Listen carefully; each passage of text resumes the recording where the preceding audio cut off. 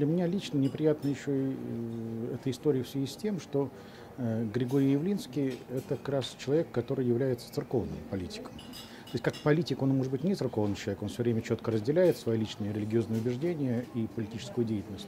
Но я просто знаю реально священника, у которого он исповедуется, которому ходит в храм.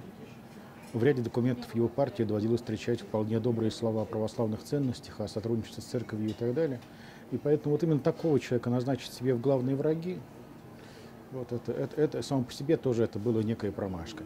Ну, ну и главное, э, ну неужели непонятно, что каждый раз, когда хотя бы даже намек на агрессию исходит со стороны церковных людей, то это не привлекает к церкви в симпатии, а скорее наоборот.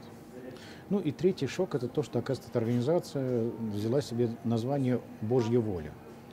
То есть заодно это уже надо пороть ремешком, простите, этих молодых людей, что Божья воля, ну что, если я так называю свою организацию, это претензия за то, что я святой, я знаю Божью волю, и свои рукосуйные акции я осуществляю с Божьей волей. На языке церковном называется прелесть. Курить травки надо меньше, господин Царионов. Пройти нормальный курс реабилитации от наркотической зависимости –